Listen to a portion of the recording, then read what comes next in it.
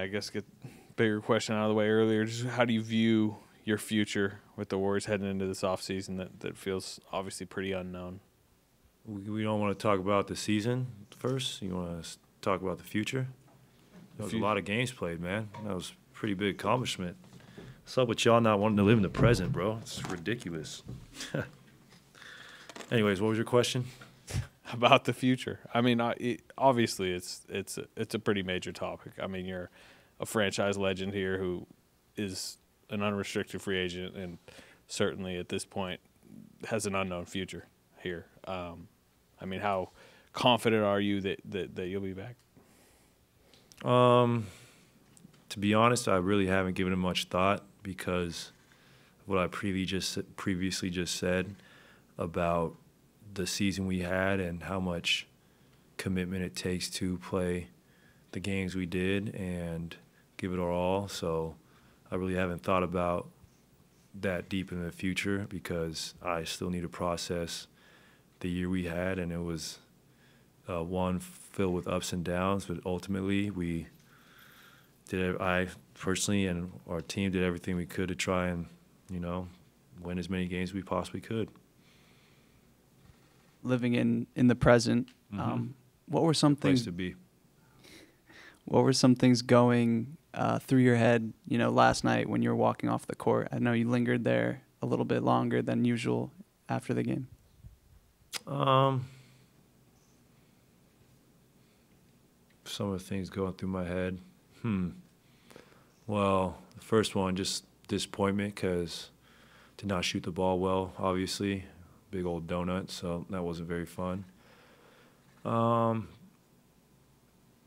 I did look up in the nosebleeds though, and I did see a man wearing a number 11 jersey. That made me happy, you know, considering my history in Sacramento from playing a state championship there to playing the Kings in the playoffs. That was kind of a full circle moment for me. So that was actually a good moment just seeing that Warriors fan standing by his lonesome up in the 300 level repping 11. That made me uh, made me grateful. Klay, Steph, Klay, I mean Steph, Draymond, and Steve all basically said they, they want you back. They they want to keep this thing rolling. What does it mean to you to hear that from those guys? And you probably already knew it, but what does it mean to hear that from those guys telling the public that? Uh, it means a lot. I mean, we've been through the highest of highs and lows, whether it's losing a championship, winning a championship, missing the playoffs. We've been through everything together, so uh, that does mean a lot, and uh, makes me uh, grateful to have the times I've had with them. Like, done some pretty historic stuff. How do you view the next several weeks going and and, and I mean it's clear like you, you're you're not necessarily ready to think about the future at this moment, but like how quickly do you think you're going to have to kind of pivot and, and figure that out, and, and, what conversations do you feel like you need to have? Well, considering it's April 17th, I don't think I have to pivot that quickly. Uh, when is free agency? July 1st? Yeah, I got some time. Got some time. Klay, what do you think is the biggest lesson that you learned this past season? The biggest lesson that I learned? Uh, probably I learned that, um, you know, you got to take, you can't be a front runner. You can't shy away from the bad moments and just embrace the great ones. You got to embrace them all. That's for any thing you do in life. Klay, that w- that was kind of along what I was going to ask, but what kind of growth did you see in yourself this season, specifically with different roles? You had, you know, some ups and downs, and you you, you shined and came back from some some tough stretches, and and uh, came off the bench and started, and just you did a little bit of everything. Yeah, um, you know, I think I learned that the best ability is availability, and I thought I did that very well this season. Uh, playing through tough times or being available almost nightly, only missing so many a handful of games. So uh, I learned that when you give yourself that shot of being out there every night, that's uh, the best thing you can do for yourself rather than just hanging on to those big scoring nights or whatever. It's about just competing nightly. And were there any breakthroughs for you emotionally with, you know, just everything you went through and um, just being able to handle everything you went through? Um, yeah, I mean, I'm a strong person. You you don't you don't uh, take a couple years off injury and come back and and uh, play that many games without being strong, strong-willed and minded. So that's what I did learn about myself is that it takes a lot of mental fortitude to uh, play through injury and yeah, shooting slumps, all that. It takes a lot of willpower. No problem. know you'll have time to obviously think about you know what you want to do next, but what do you want to prioritize you know for yourself, kind of moving forward? What are your priorities?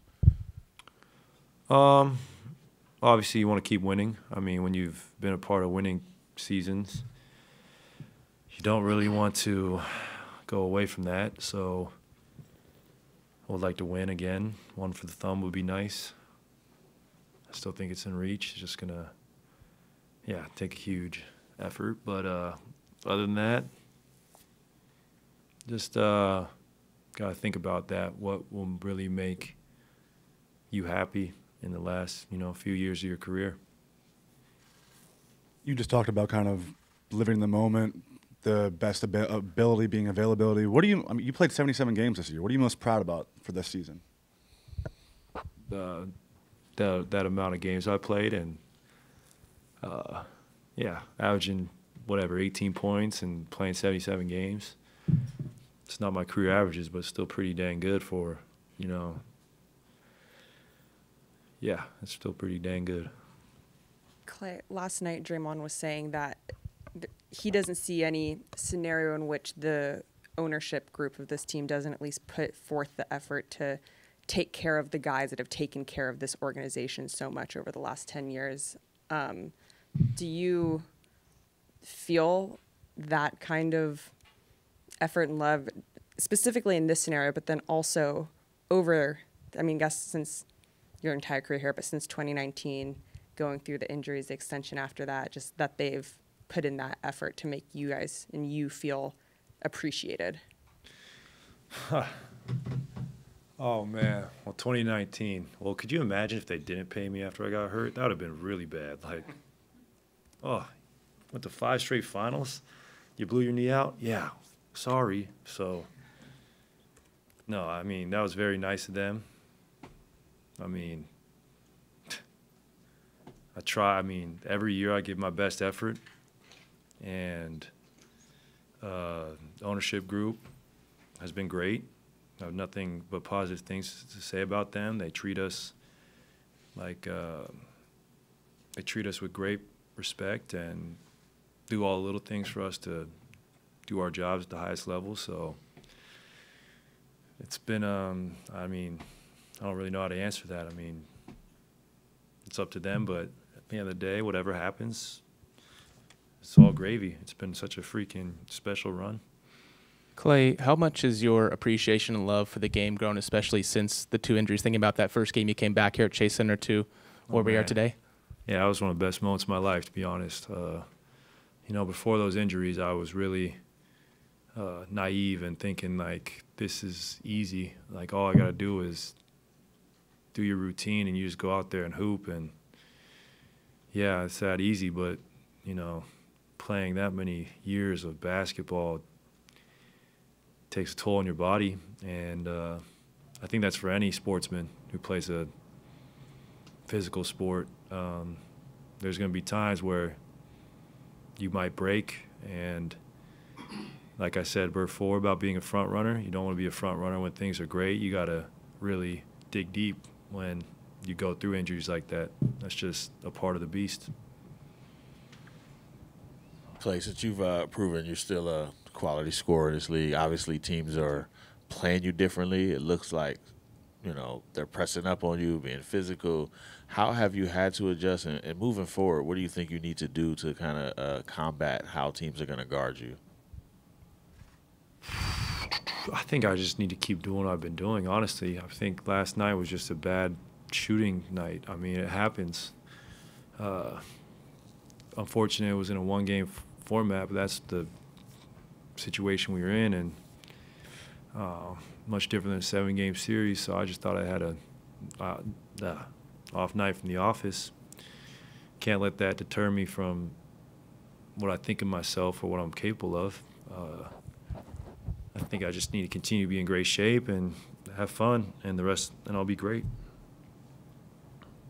Klay, you, you've talked about gratitude for just playing basketball, and and uh, obviously the connection with Draymond and Steph comes up a lot. But how much do you also sort of view that this organization, your connection with Steve? I mean, he's the only coach you've had.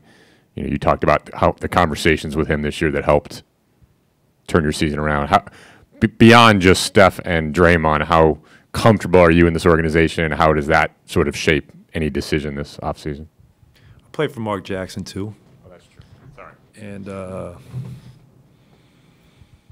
um, yeah, I mean, I love everyone here, from the security who does the floor at at the games to the security from the Oracle days. I'm still friends with them.